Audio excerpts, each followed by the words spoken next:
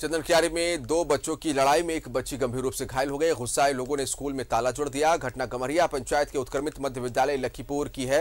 गंभीर रूप से घायल बच्ची का इलाज पुरुलिया सदर अस्पताल में चल रहा है। लोगों का आरोप है कि स्कूल में शिक्षक पढ़ाई नहीं कराते और शिक्षकों का ध्यान बच्चों पर कम ही रहता है। काल जो था, एक बच्ची को मतलब उस बर्दवान में पढ़ रहे थे तो उसमें जो एक बच्ची के साथ एक लड़का, कुछ मतलब ऐसे ठेला ठेली हो या कुछ भी हो, उसमें चोट लग गया है तो उसको मतलब यहाँ जो है गर्दन में थोड़ा मतलब दिक्कत हो रहा है रखने में। तो कल उसको डॉक्टर लाए, उसको दिखाए, फिर उसके बाद थोड़ा बहुत होश आया, फिर उसके बाद फिर बेहोश हो गया। उसके बाद उसको पुरुलिया सरकारी हॉस्पिटल ले गया गया, और वहाँ जाके उसको मतलब एडमिशन करा के आई।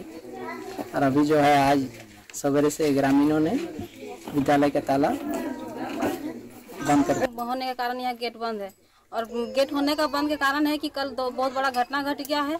एगो छोटा बच्चा वन क्लास का लड़का लड़की जैसे कुर्सी के दबा गया है ना चेती किया गया है। उसके कारण हम लोग को यहाँ पे, और मास्टर उसमें देखभाल नहीं करता है। और टाइमली भी खाना भी नहीं मिलता है।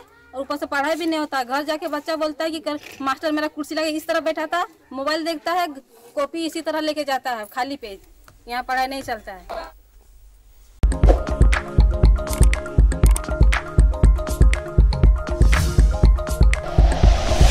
Like and share videos, subscribe करें हमारा चैनल और प्रेस करें बेल आइकॉन न्यूज़ 11 भारत. सच है तो दिखेगा।